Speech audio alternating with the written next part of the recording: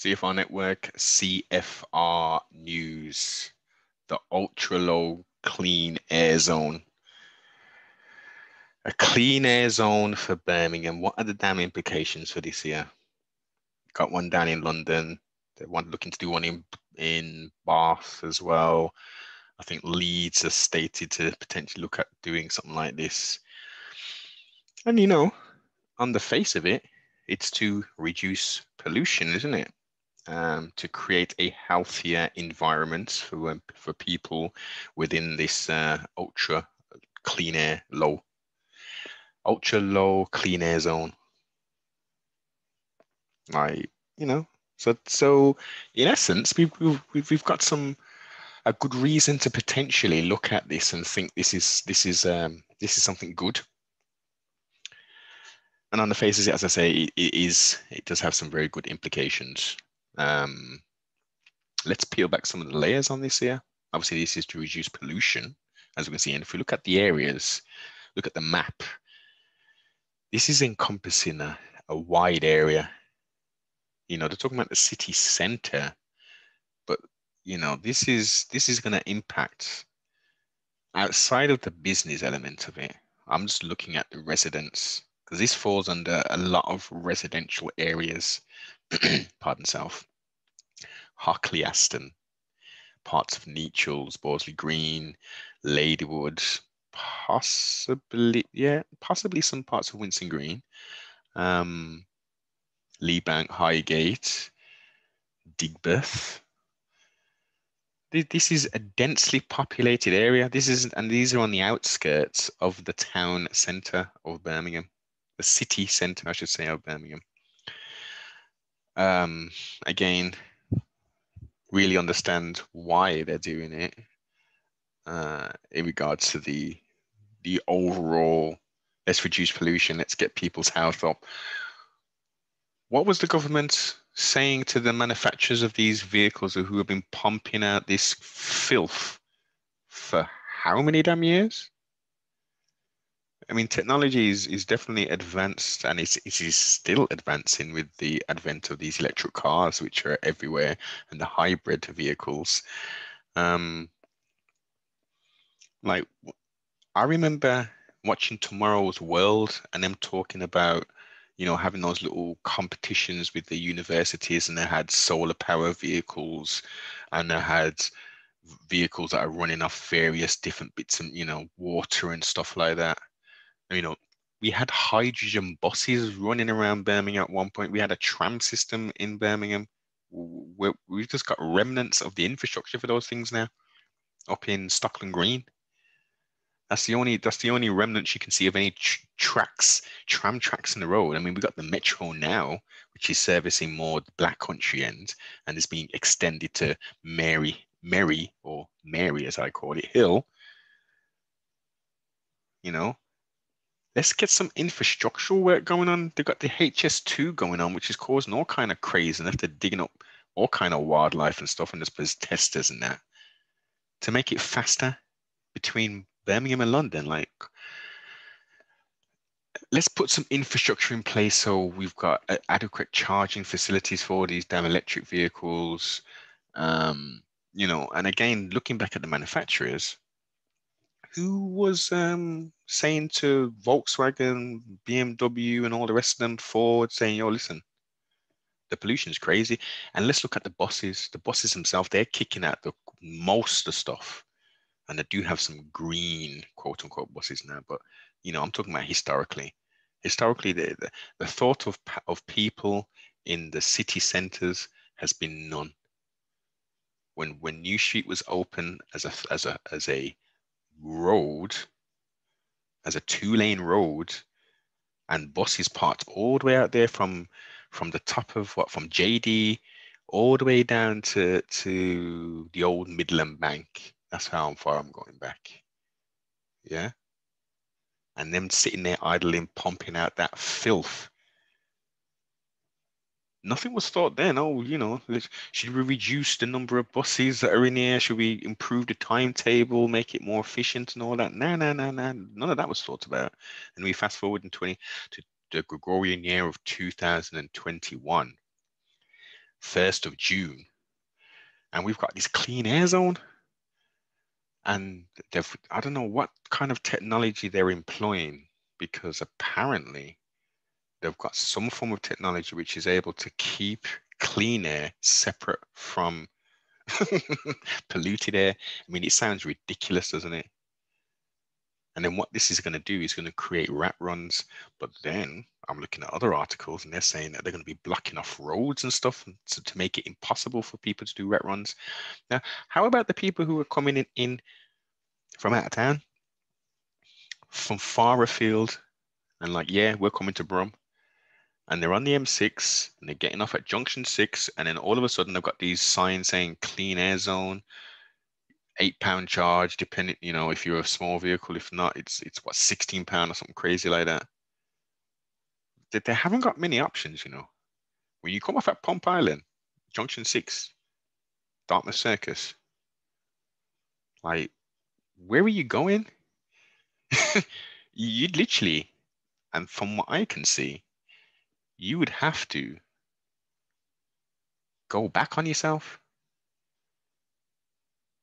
You'd have to literally almost go back on yourself towards like Aston and stuff to avoid the uh the the, the zone. You're gonna have people literally slamming the anchors on saying, yo, I ain't got the money.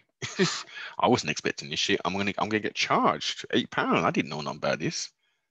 This isn't London, is it? Even though you know, Birmingham was the the the, the cap. Well, the Midlands, Lichfield, technically Mercia, uh, was the capital before Londinium. But you know, this ain't London. We, we, a congestion charge. I know we got to pay that when we go down south, but not in Birmingham. not in old Birmingham. But apparently so. Apparently so.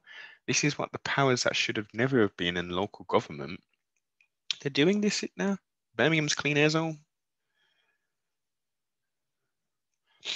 Um, and it will operate. Let's look at this. I'm on the um, birmingham.gov website. 1st of June 2021, Clean Air Zone will be launched. Operating 24 hours a day, 365. And it will be manned um, or operated via um, number plate, automatic number plate recognition system, ANPR. The charges will be applied daily, and non-compliant vehicles driving the zone will pay once for a day, then they can drive in the area without any limits. Well, of course, this isn't like a pay-as-you-go service, and you, you you drive into Birmingham, you come out, you drive and you get charged. They couldn't do that. They could not do that. It's um, yeah. What does it mean for me? What does it mean for me as a Birmingham resident? And there is a lot of poverty, especially what's going on with the old uh, uh, zombie apocalypse and all that kind of stuff. Like, you know, people are at work, people have lost businesses and stuff. So, following our public consultation, I don't know how who the public is that they're talking about. We plan to give some people more time to prepare. Short-term extensions and they're offering that they're offering additional support for people who find it more difficult, um, who have more polluting vehicles. Now let's look at this now. Let's look at this. What's the short-term exemptions? Let's see what what what they're talking because uh, I initially heard about government workers are going to have some kind of exemption, like nurses and that kind of stuff. Uh, overview if your vehicle does not meet uh, admission standards and will be subject to daily charge for the clean air zone, you may be eligible for temporary exemption. Yes, temporary. I think it's only for a year. Um, check your documents, apply online. Let's see. Exemption permit. Some guidelines. If you're eligible for the exemption, you must submit your application and all supporting evidence and information by the 10th of May 2021 to guarantee receipt of your permit in time to start the clean air zone in the 1st of June. We cannot guarantee applicants applications submitted after this time will be processed in time for the launch. Yeah. Uh, what the, what's the what's the um the caveats? What, what's what's the um the plan? Permanent for residents. Let's have a look at this here.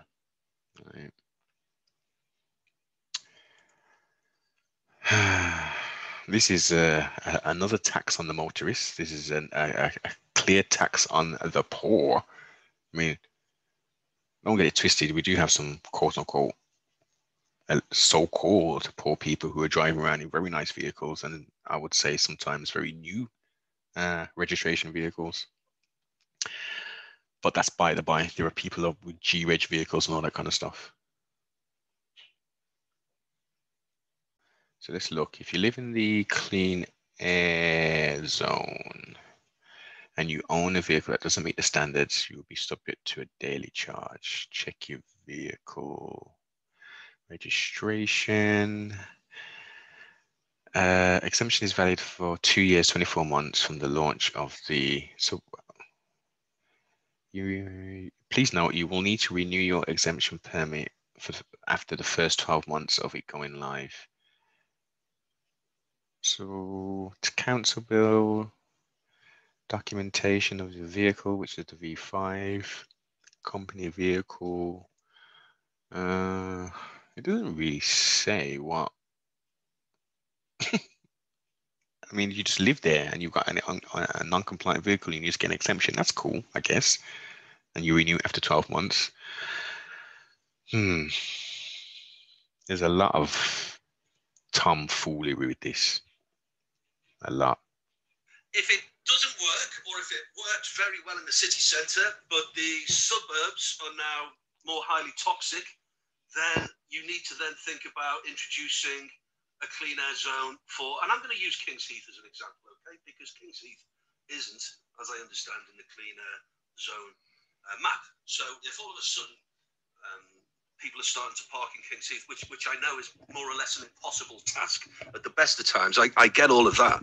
Then all of a sudden, if you're coughing and spluttering more in King's Heath because the drivers are stopping their journeys and maybe jumping on a bus, then as a resident of King's Heath, what happens next?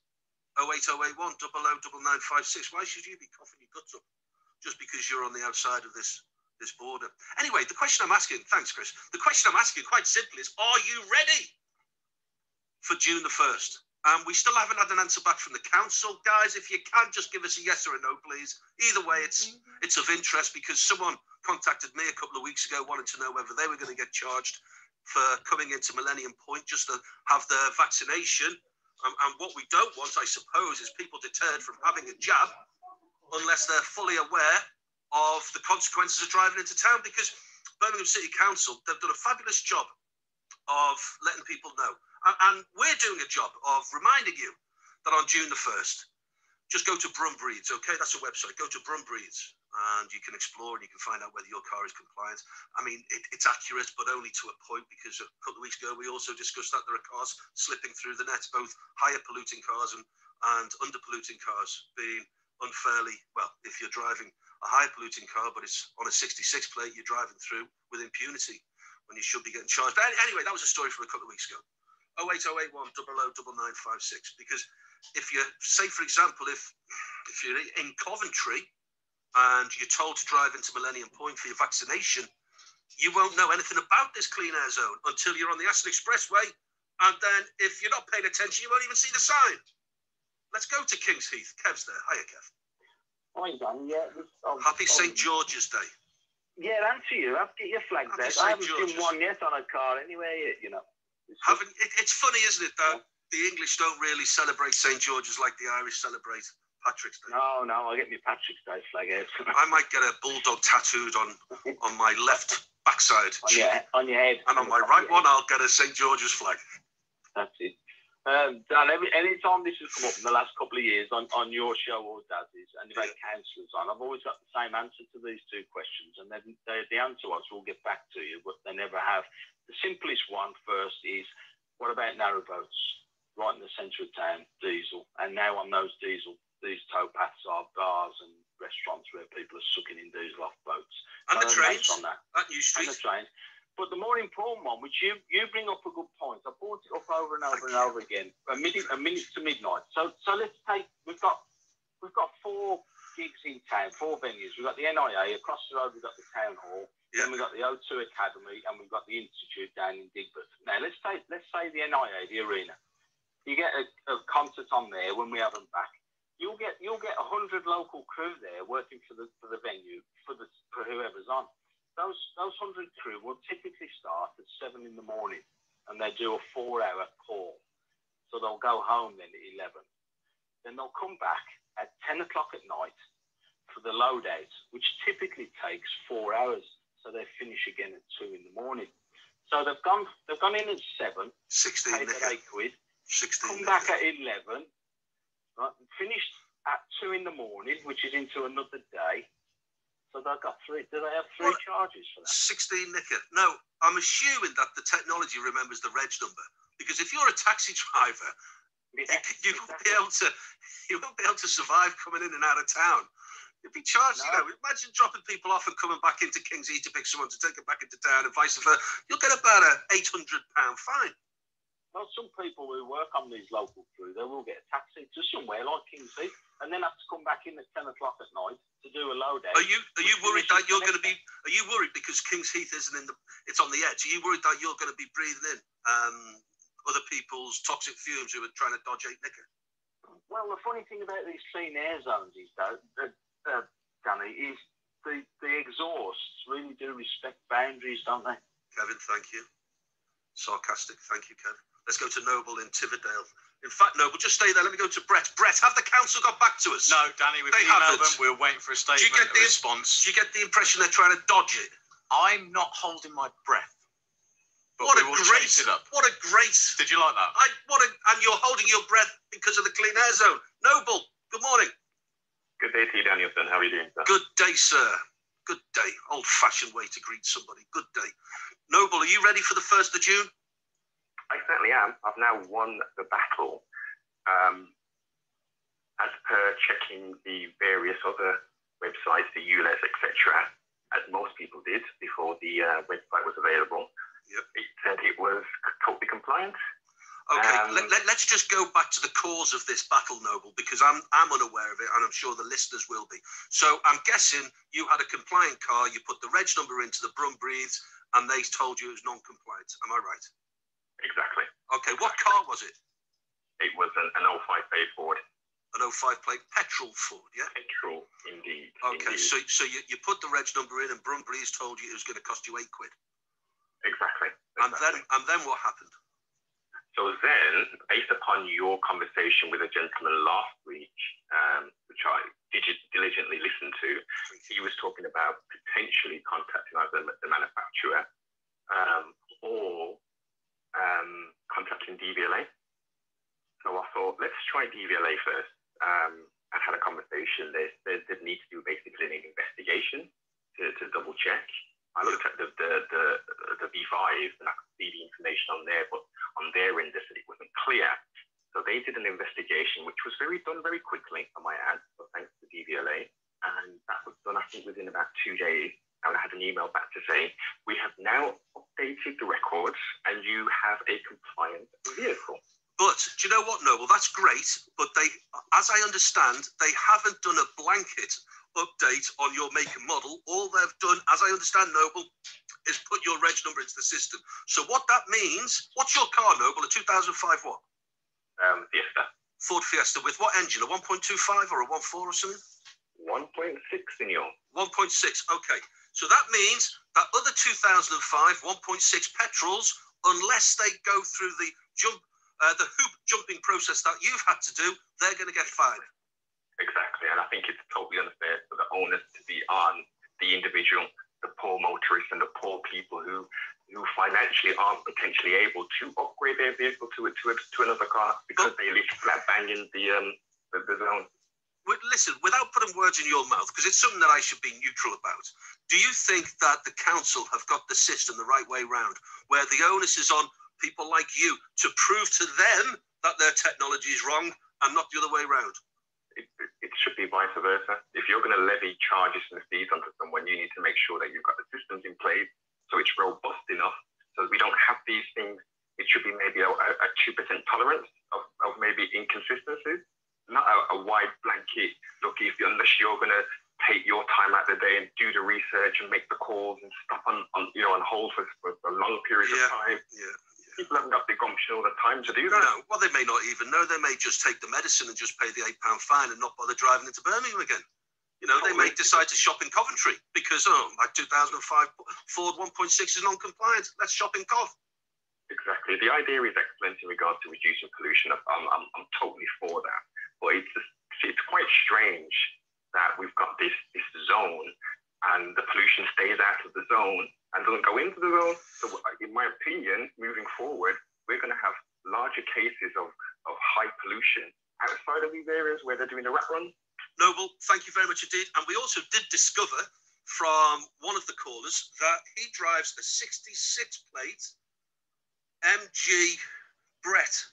What we did discover Yeah. is that people are slipping through through the net the other way round, and this is the concerning bit. Well, the eight pound unfairly charged fine is concerning to me anyway. But the other way round, mate, is that we had a caller who's driving a 66 plate MG, one of the last sort of MG, not not that not the uh, convertible things, but MG do another range of cars, Sure. like a five door. Yeah. I can't even remember what they're called. Anyway, 66 plate, but it's one of the last of the, the models that have been hanging around in an airfield somewhere because they couldn't sell it. Euro 5 engine, not Euro 6. Right. So he is driving literally with impunity in a polluting diesel engine because the, the software that the council are using in conjunction with the DVLA haven't clocked that this guy's 66 plate should have been registered a year earlier and would be non-compliant. Okay, Yeah. Oh, So is this clean air zone a good thing or a bad thing? Let me see the comments and let me see your thoughts. Make sure you like, comment, subscribe, and most definitely share.